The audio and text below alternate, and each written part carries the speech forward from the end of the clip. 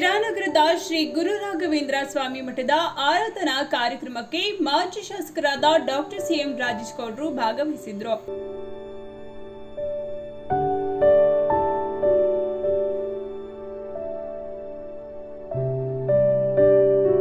ರಾಯರ ಮಠದ ಎರಡನೇ ದಿನದ ಆರಾಧನಾ ಕಾರ್ಯಕ್ರಮಕ್ಕೆ ಮಾಜಿ ಶಾಸಕರು ಭೇಟಿ ನೀಡಿ, ನಂತರ ಮಾತನಾಡಿದ ಅವರು, ರಾಯರ ಮಠಕ್ಕೆ ಶಾಸಕರ ಅನುದಾನದಲ್ಲಿ ಸುಮಾರು ಐದು ಲಕ್ಷ ನೀಡಿದ್ದು ಅದು ಈ ದಿನ ಬಿಡುಗಡೆಯಾಗಿದೆ ಎಂದು ಸಂತೋಷ ವ್ಯಕ್ತಪಡಿಸಿದ್ರು.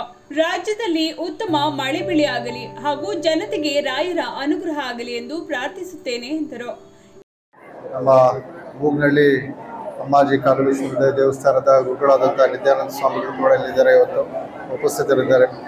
ಎಂದಿನಂತೆ ಪ್ರತಿ ವರ್ಷದಂತೆ ಅತ್ಯಂತ ಶ್ರದ್ಧಾ ಭಕ್ತಿಯಿಂದ ನಾವೆಲ್ಲರೂ ಕೂಡ ಗುರುರಾಯರ ಒಂದು ಆರಾಧ್ಯ ಕಾರ್ಯಕ್ರಮದಲ್ಲಿ ಎಲ್ಲರೂ ಕೂಡ ತೊಡಗಿಸ್ಕೊಂಡಿರ್ತಕ್ಕಂಥದ್ದು. ಪ್ರತಿ ವರ್ಷನೂ ಕೂಡ ಈ ಒಂದು ದಕ್ಷಿಣ ಭಾರತದಲ್ಲಿ ಅತಿ ಹೆಚ್ಚಾಗಿ ಕರ್ನಾಟಕ ರಾಜ್ಯ, ನಮ್ಮ ಆಂಧ್ರ, ತೆಲಂಗಾಣ ಒಳಗೊಂಡಂತೆ ಕೇರಳ, ತಮಿಳುನಾಡಿನಲ್ಲೂ ಕೂಡ ಎಲ್ಲ ಭಕ್ತಾದಿಗಳು ಈ ಒಂದು ಆರಾಧನಾ ಸಂದರ್ಭದಲ್ಲಿ ಗುರುವಿನ ಮೊರೆ ಹೋಗಿ, ಗುರುವಿನ ಒಂದು ಇಚ್ಛೆಯಿಂದ ಎಲ್ಲರೂ ಕೂಡ ಅತ್ಯಂತ ಭಕ್ತಿ ಭಾವನೆಯಿಂದ ಒಂದು ಕಾರ್ಯಕ್ರಮದಲ್ಲಿ ಭಾಗವಹಿಸಿರ್ತಕ್ಕಂಥದ್ದು. ಮೂರು ದಿನ ಜರುಗಲಿರುವ ಈ ಕಾರ್ಯಕ್ರಮದಲ್ಲಿ ವಿಶೇಷವಾಗಿ ನಮ್ಮ ಸಿರಾದ ಈ ಒಂದು ಗುರುರಾಯರ ಒಂದು ಮಠದ ಒಂದು ಆವರಣದಲ್ಲಿ ಈ ಒಂದು, ಇದು ಒಂದು ದಿನ ಮಧ್ಯಾರಾಧನೆ ನಾಳೆ ಅಂತಿಮವಾಗಿ ಕಡೆಯ ದಿನದ ಒಂದು ದೈವತ ಕಾರ್ಯ ಆಚರಣೆಯನ್ನು ನಾವೆಲ್ಲರೂ ಕೂಡ ಎದುರು ನೋಡ್ತಿರ್ತಕ್ಕಂಥದ್ದು. ಗುರುರಾಯರ ಒಂದು ಆಶೀರ್ವಾದದಿಂದ ನಾವೆಲ್ಲರೂ ಕೂಡ ರಾಯರಿಗೆ ಶರಣಾದಂತಹ ಸಂದರ್ಭದಲ್ಲಿ ಎಲ್ಲರೂ ಕೂಡ ಅನುಗ್ರಹವನ್ನು ಕೊಡ್ತಕ್ಕಂತಹ ಒಂದು ಶಕ್ತಿ ಇರತಕ್ಕಂಥದ್ದು ರಾಯರಿಗೆ ಮಾತ್ರ ಅದು. ನಾವೆಲ್ಲರೂ ಕೂಡ ಸೇರಿ ರಾಯರಲ್ಲಿ ಕೇಳ್ಕೊಳ್ಳೋಣ.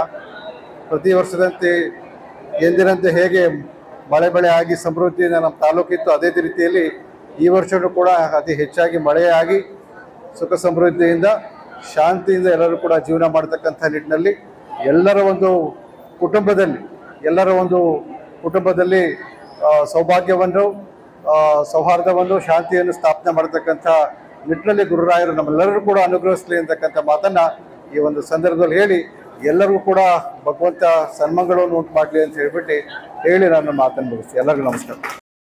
ಈ ದಿನ ಏನು ಶ್ರೀ ರಾಘವೇಂದ್ರ ಸ್ವಾಮಿಗಳ ಮಠದಲ್ಲಿ ಮಧ್ಯಾರಾಧನೆ ನಡೀತಾ ಇದೆ.